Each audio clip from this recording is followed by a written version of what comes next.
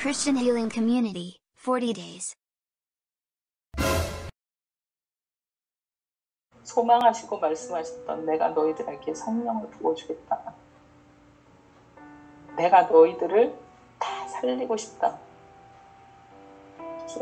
얼마나 진짠지 이게 금보다도 귀하고 이게 진짜 네가 갖고 있는 것 중에 가장 귀한 건데 이거 어디다 막 슬퍼하고 맨날 괴로워하고 맨날 비교하고 맨날 난 능력이 없고 나는 내 부모가 어쩌고 저쩌고 나는 불행한 인생을 살았고 내가 뭐 할 줄 아는 것도 없고 난 앞으로 할 수도 없고 꿈도 없고 내 인생을 돌아보면 다 후회밖에 없고 돈도 없고 뭣도 없고.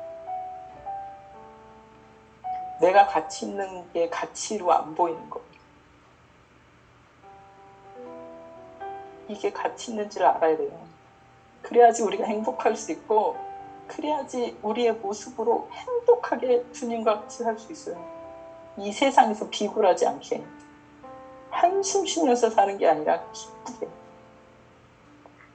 오늘 누가가 2장의 내용을 통해서 이 엄청난 일이 지금 사도행전의 첫장과 둘째 장에서 일어나고 있었다. 그걸 우리한테 설명해 주고 싶었던 거예요. 우리가 다 같이 아, 같이 생각하시면서 기도했으면 좋겠습니다.